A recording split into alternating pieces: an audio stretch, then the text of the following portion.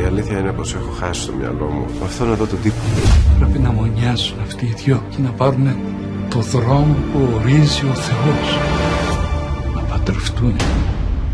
Αντώνη, τι συνέβη; Κάτι είδες και προσπάθησες να σώσεις τη Μαρίνα. Πρέπει να πιάσω το φαρμάκι, να τον εχώσω μέσα, η σόβια να σαπίσει. Γι' αυτό θα συνεργαστώ μαζί τους. Για να βγουν στο φως όλα αυτά που έχει κάνει. Δεν θέλω να με ξαναπλησιάσεις. Σε παρακαλώ. Ο άντρα σου.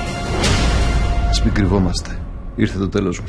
Σασμός. Απόψε στις 9.